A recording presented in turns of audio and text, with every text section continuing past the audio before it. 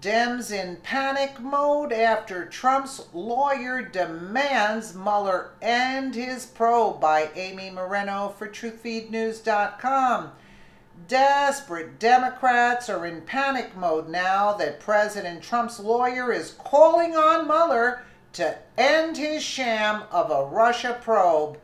Lawmakers sounded the alarms on Saturday in the wake of the firing of disgraced FBI Deputy Director Andrew McCabe, who is reportedly at the center of the upcoming IG report as a leaker who lied to FBI investigators, covered for Hillary, and lied under oath.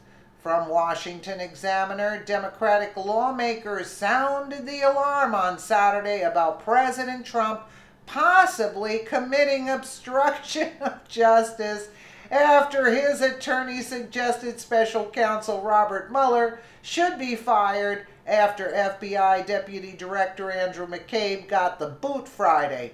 Trump's personal uh, lawyer, John Dowd, told the Daily Beast he hopes to see Deputy Attorney General Rod Rosenstein, who is overseeing Mueller's Russia investigation, fire Mueller like Attorney General Jeff Sessions fired McCabe. He originally indicated that we that he was speaking on behalf of Trump, but later clarified that he was speaking on behalf of himself and not the president.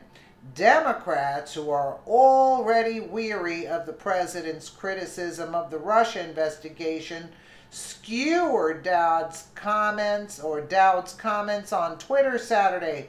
Senator Mark Warner, uh, the top Democrat on the Intelligence Committee, urged members of Congress from both sides of the aisle to speak up and defend Mueller's work. Every member of Congress, Republican and Democrat, needs to speak up in defense of the special counsel now, Warner wrote. It's almost a joke. It's almost a joke. Not almost, it's a joke. You know what I'm saying? I mean, really? Really? What have they found in 14 months? What are the people of this country paying for? Enough is enough with this sham of an investigation. It's true. Shut it down.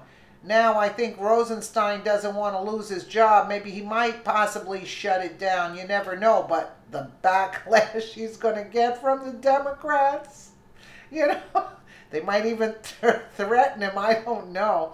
Let me know what you guys think in the comments below. And again, thank you so much for watching.